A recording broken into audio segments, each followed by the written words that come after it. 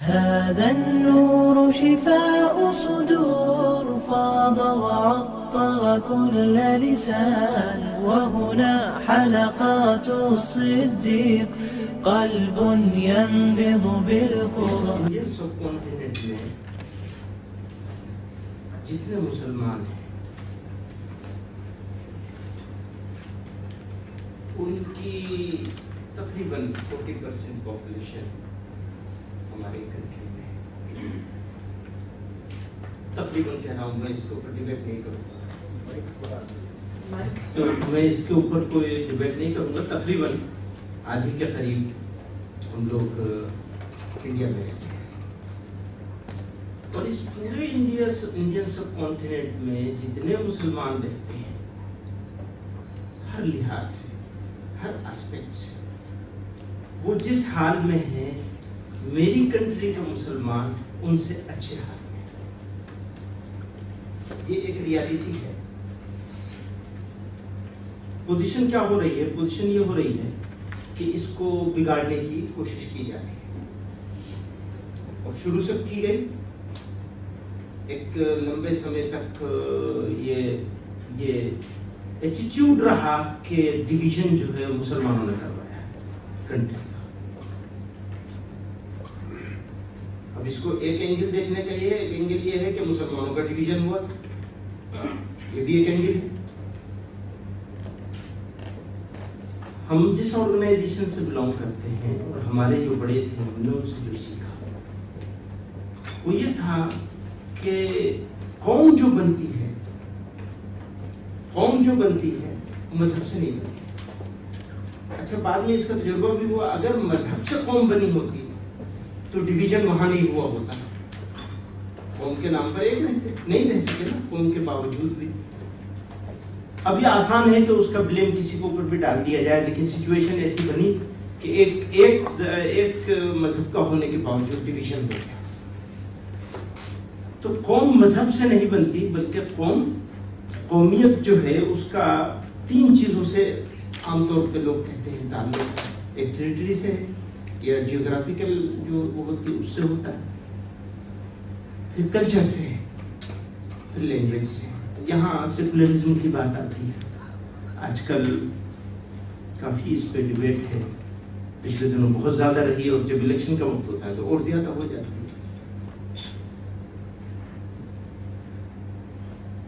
मेरा मानना ये है कि हमारा मुल्क, मैं असल पॉइंट पे आ रहा हूँ, लेकिन उससे पहले कुछ थोड़ी सी तमहीद हम लोग उर्दू में कहते हैं तमहीद हमारा मुल्क जो है, इसकी एक स्पेशलिटी है जो दुनिया में कम मिलती है। यहाँ के लोगों में बर्दाश्त करने की जो सलाहियत है, सहनशीलता जिसे कहें, अगर आसान हिंदी बोले, या टॉलरेंस कहती दीजिए उसे तो यहाँ अभी सेकुलरिज्म तो बहुत पुरानी चीज़ नहीं है, नया लफ्ज है और नई चीज़ आई है, पर हमारे इस मुल्क ने सैकड़ों साल से पुराने झगड़े की और बड़े झगड़े की बहुत सी तारीखें भी हैं। बड़े झगड़ों की तारीखें भी हैं।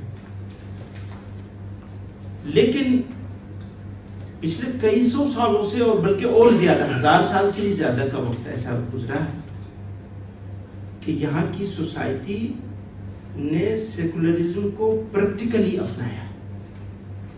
सिर्फ़ पॉलिटिकली नहीं, बल्कि प्रैक्टिकली अपनाया है। यह मुल्क अगर सेकुलर है हमारा तो किसी पॉलिटिकल पार्टी या पॉलिटिकल थॉट और सोच की वजह से नहीं है, बल्कि यहाँ के लोगों की वजह से है। अब जब मैं लोगों की बात करता हूँ तो इस पूरी सोसाइटी की बात हो रही है। सिर्फ़ मुसलमान की बात नहीं हो रही, सिर्फ़ दूसरे की बात नहीं हो रही। अब आ जाते हैं वो जो मुझसे कहा गया कि तुम्हें ये शिद्दत पसंदी एक्सट्रीमिज्म और वो आ रहा है उसके ज़रिए से।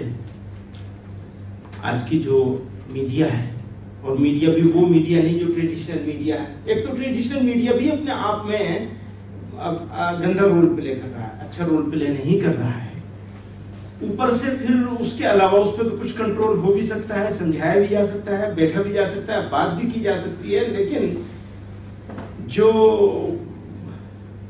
अपना ऑन ये जो सोशल मीडिया कह लें या इंटरनेट के ज़रिए से जो भी हो रहा है, उस पर क्या, कैसे कंट्रोल होगा? वो एक इशू है जो, जिसको हम सॉल्व नहीं कर सकते। इसको तो उसी फ़ील्ड के लोगों को सॉल्व करना होगा कि वो कैसे करेंगे हम और आप कि किस तरह उन लोगों को मसाला ना मिले, आज आज ही का एक मिसाल बताता हूँ। लातूर में यह हुआ है चंद रोज पहले कि दो पुलिस वालों को कुछ लोगों ने गाँव में झगड़ा था पुलिस परमिशन नहीं दे रही थी प्रोसेशन निकालने की। वो झगड़ा बढ़ गया और वो पुलिस जो परमिशन नहीं दे रही थी, वो इसलिए कि कोर्ट के इंटरवेंशन कोर्ट ने कहा था कि इस तरह से नहीं निकाला जाएगा। अब वो पब्लिक गुस्से में आ गई। दो बेचारे वहाँ थे, उनको पहले से खबर नहीं लगी कि कुछ इसको इतना गुस्सा भी हो सकता है। दोनों को पकड़ लिया, पकड़ के मारा पीटा। अब ये झगड़ा था पुलिस के बीच में और गाँव के लोगों के बीच में। बन गया ये हिंदू मुसलमान, क्योंकि उसमें एक पुलिस वाला ऐसा था जो मुसलमान भी था और उसकी दाढ़ी भी थी। अब सारे भारत में ही नहीं, पूरी दुनिया में। अभी जवाब देना मुश्किल हो रहा है, लोगों को समझाना मुश्किल हो रहा है। आज मेरे साथ यहाँ एक इंडस्ट्रियलिस्ट थे सुबह मुसलमान है। मिलने आए थे कहने देखो कितना हाल खराब हो गया। वो मुसलमान था दाढ़ी वाला था, इसलिए उसको मारा गया। मैंने कहा, वो आपने देखा ही नहीं कि दूसरा बेचारा बगैर दाढ़ी वाला था और मुसलमान नहीं था? तो कहने वो तो खबर ही नहीं किसी को। दोनों को मारा था। उसी तरह मारा गया तो हो सकता है किसी साथ कुछ जरा ज्यादती भी कर दी होगी मौका लगा करके दाढ़ी वाले के साथ। लेकिन मामला तकरीबन एक जैसा हुआ दोनों के साथ। किसी को खबर नहीं तो दोनों के साथ हुआ है। ना हमारा नेशनल मीडिया इसको दिखा रहा है, वो अगर दोनों को बराबर करके दिखा देता तो जो पीछे से जंग चल रही है, लोगों को, हालात को खराब करने की, वो जंग में तो रुकावट होती कुछ। अब ये ये सिचुएशन है। इस सिचुएशन से कैसे निपटेंगे दूसरी एक चीज़ और है, इंसाफ होना बहुत ज़रूरी है। लेकिन जितना ज़रूरी होना है, उससे ज़्यादा ज़रूरी दिखना है। अभी कमी क्या आ गई है? होने में भी कमज़ोरी हो रही है। माफ़ करिएगा, ये थोड़ा सा पॉइंट है, एक ऐसा, जो हम लोग आपस में बैठे तो इस पर खुल के बात कह लेनी चाहिए। जिस तरह इंसाफ होना चाहिए, उस तरह हो भी नहीं रहा है, और जितना हो रहा है, वो दिख भी नहीं रहा। जो कमी छूट रही है, वो ज़्यादा दिख रही है, और उसे बढ़ा करके दिखाया जा रहा है, बाकायदा प्लानिंग हो रही है प्लानिंग के तहत चलाया जा रहा है इसको। इसको रोकना बहुत ज़रूरी है। मैं सेक्टेरियन कॉन्फ्लिक्ट की बात करूँगा। अभी हमारे देश में, मुसलमानों के बीच में सेक्टेरियन कॉन्फ्लिक्ट हमारे पड़ोस के मुकाबले में, पाकिस्तान के मुकाबले में नहीं के बराबर है एम के दर साहब ने पिछले दिनों किताब लिखी और उसमें उसको मेंशन किया है। आईबी के हवाले से मेंशन किया है। तो कोशिश, यहाँ भी सेक्टेरियन कॉन्फ्लिक्ट करने की कोशिश की जा रही, लाने की कोशिश की जा रही है। मैं समझता हूँ सब लोगों को मिलकर जिम्मेदारों को कंट्री के जिम्मेदारों को थिंकर्स को इसको रोकने की कोशिश करनी चाहिए क्योंकि अगर कॉन्फ्लिक्ट मुसलमान आपस में लड़े तो मुल्क का थोड़ी देर को हम ये मान लें कि हमारे देश का मुल्क का कोई नुकसान नहीं होगा। मुसलमानों का ही होगा। थोड़ी देर को ये मान भी लिया जाए। लेकिन एक डेंजर इसमें ये मैं, मैं जो देख रहा वो ये कि शिद्दत पसंदी के लिए एक्सट्रीमिज्म के लिए, अगर आपस में मुकाबला शुरू हो गया इनमें, कि हम ज़्यादा एक्सट्रीमिस्ट हैं, हम ज़्यादा शिद्दत पसंद हैं तो क्या होगा? ये मैं इस खतरे को बहुत करीब से देख रहा हूँ। इस सेक्टेरियन कॉन्फ्लिक्ट का अगर बढ़ावा होता है सूफीज्म की बात है तो इस पूरे इंडियन सब कॉन्टिनेंट में इस्लाम अगर आया है तो सूफियों के हाथ से बादशाहों के हाथ से नहीं आया उन्होंने तो नुकसान पहुँचाया इस्लाम को नुकसान पहुँचाया है। हो तो सकता है मुसलमानों को कहीं फ़ायदा हो गया होगा। ज़रूर। इस्लाम को लेकर नुकसान हुआ है। इन जनरल अगर देखा जाएगा, बादशाहों के हाथ से। और इन्हीं बादशाहों ने सूफियों के साथ बहुत सारे अन्याय, अत्याचार किए अलग अलग मौकों बहुत सारे जुल्म किए हैं, देश निकाला दिया है, जेलों में बंद रखा है, आप इतिहास उठा करके देखिए। लेकिन लोग जो यहाँ के लोगों ने जो इस्लाम को एक्सेप्ट किया है, वो सूफियों का हाथ से अब सूफी क्या थे? यहाँ से कंफ्यूजन स्टार्ट होता है। इस कंफ्यूजन को क्लियर करना ज़रूरी है। कौन सूफी थे जिनका हमको फॉलो करना चाहिए, जिनके हम फॉलोअर हो सकते हैं।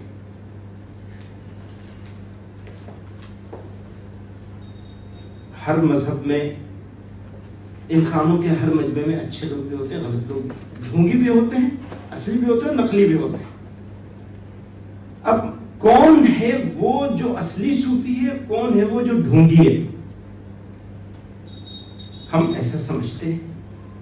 कि ख्वाजा मोइनुद्दीन चिश्ती अजमेरी, हज़रत ख्वाजा निज़ामुद्दीन अवलिया हज़रत शेख साबिर अलाउद्दीन करियरी और इसी तरह मुल्क में फैले हुए हैं, जगह जगह। ये वो लोग थे जिन्होंने अपने एटीट्यूड और रवैये से लोगों को इस्लाम एक्सेप्ट करने पर मजबूर कर दिया। से नहीं, बल्कि उनकी उनकी एक्सेप्टेबिलिटी उनकी अच्छाई की वजह से इतनी बढ़ गई।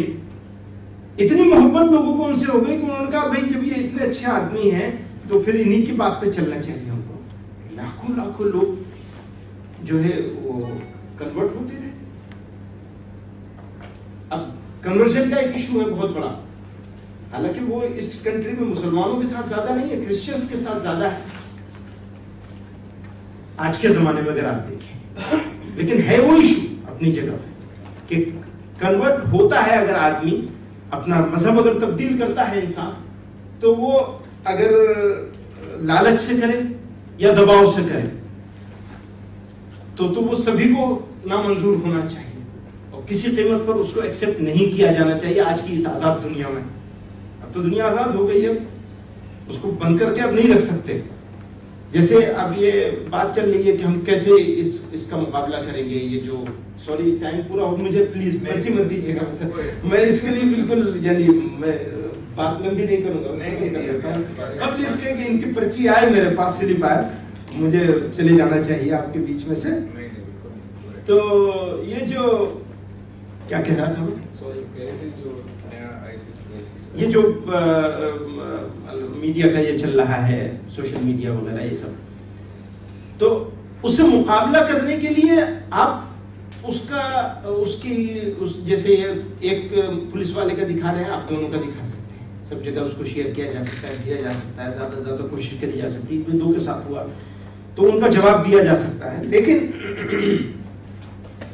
मेरा मानना ऐसा है कि जैसे उसको बढ़ाना ज़रूरी है वैसे ही हालात को ठीक रखना ज़रूरी है।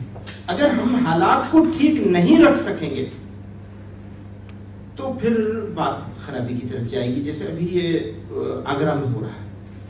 आगरा में एक बहुत बहुत खराब घटना घटी है कल परसों चंद रोज पहले। उस दुर्घटना के जवाब में जिस तरह का जो रिएक्शन किया जा रहा है मैं समझता हूँ, वो रिएक्शन अगर आएगा तो उस पहली वाली दुर्घटना करने वाले लोग अपने मकसद में कामयाब हो जाए। उन्हें फेल करना है, कामयाब नहीं होने देना है। तंग नजरी ये हमारा समाज जो है, भारतीय समाज, ये बहुत गहरा है, इसके अंदर बड़ी डेप्थ है। इसके अंदर बहुत सहनशीलता है, बहुत बर्दाश्त करने की ताकत, ये समुंदर है। दरिया इसमें आके मिलते हैं। अब इस समुंदर को दरिया नहीं बनने देना।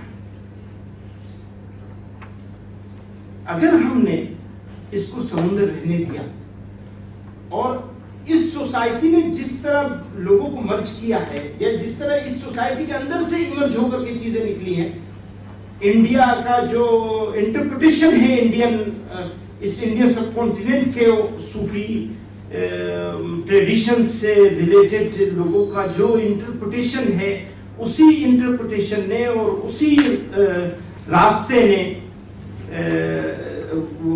यहाँ को यानी वो रास्ता इसलिए यहाँ इमर्ज होकर के आया कि यहाँ की सोसाइटी में बर्दाश्त करने की ताकत उस ताकत को खोना नहीं है। अगर हम उसको नहीं खो सके, कोई कोई चैलेंज हमारे सामने